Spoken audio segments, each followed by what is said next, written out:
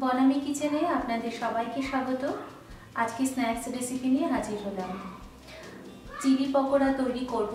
এর জন্য আড়াইশো গ্রাম চিলি নিয়েছি। এই লঙ্কাগুলো খুব একটা ঝাল হয় না।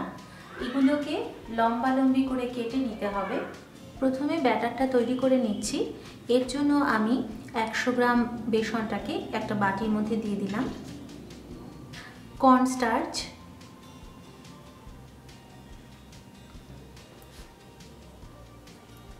বেসনটাকে অল্প অল্প করে জল দিয়ে গুলিয়ে নিতে হবে। খুব বেশি পরিমাণে জল একবারে দিলে তো দানা বেঁধে যায়, তো সেই জন্য অল্প অল্প করে দিয়ে মিশিয়ে নিচ্ছি। ব্যাটার অনেকটাই ঘন আছে, এর মধ্যে আরও জল লাগবে।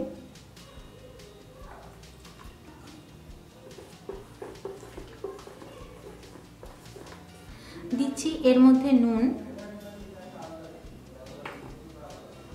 হলুদ গুঁড়ো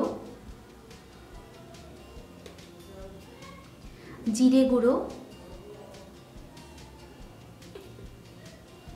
কাশ্মীরি লঙ্কার গুঁড়ো বা প্লেন লঙ্কার গুঁড়ো, যেটা আপনাদের পছন্দ। কালো জিরে এক চা চামচ পরিমাণে দেব। কালো জিরের সঙ্গে আপনারা চাইলে একটু জোয়ানো দিতে পারেন। সব কিছু ভালো করে মিশিয়ে নিচ্ছি।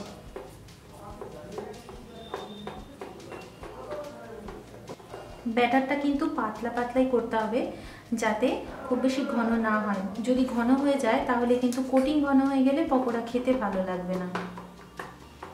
লঙ্কাগুলোকে ভালো করে ধুয়ে নিয়েছি। এবারে একটা সরু নাইফ দিয়ে এরকম লম্বা লম্বি কেটে নেব।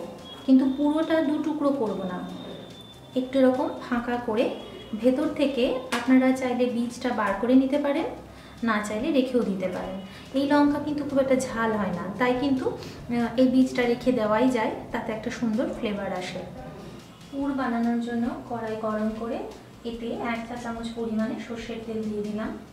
তেল গরম হয়ে গেছে, এর মধ্যে দিয়ে দিচ্ছি সাদা জিরে।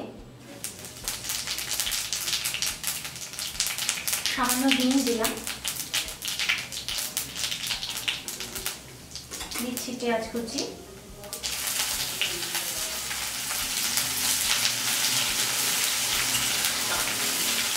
কিন্তু অপশনাল যদি ইচ্ছে না করে, দেবেন না।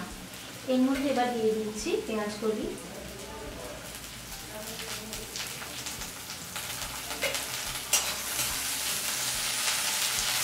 দিয়ে দিচ্ছি এর মধ্যে সেদ্ধ করে রাখা আলু।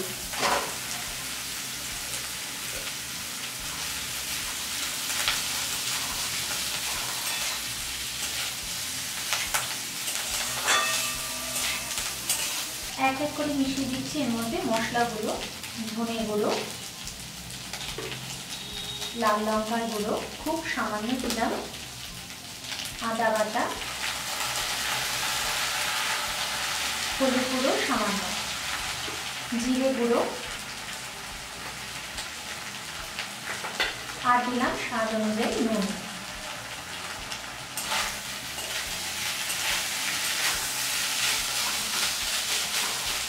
মশলার সঙ্গে আলুটা মিশিয়ে নিয়ে খুব ভালো করে কিন্তু ভেজে নিতে হবে। না হলে কাঁচা গন্ধ থেকে যাবে। আলুটা ভাজা হয়ে গেছে। এর মধ্যে এবারে আমি মিশিয়ে দিচ্ছি ধনে পাতা কুচি। ধনে পাতা কিন্তু বেশ খানিকটা দিয়েছি।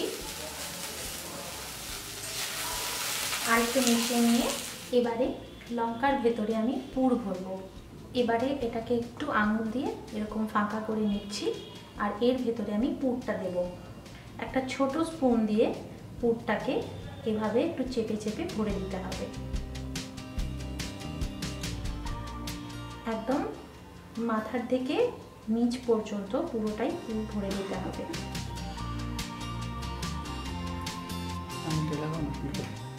এইভাবে প্রত্যেকটার মধ্যে আমি পুর ভরে নিচ্ছি। পকোড়াগুলো ভাজার জন্য কড়াই গরম করে এতে আমি তেল দিয়ে দিচ্ছি। বেশ অনেকটা তেল লাগবে। তেল গরম হলে ব্যাটারের মধ্যে ডিপ করে পকোড়াগুলো এক এক করে ছেড়ে দেবো।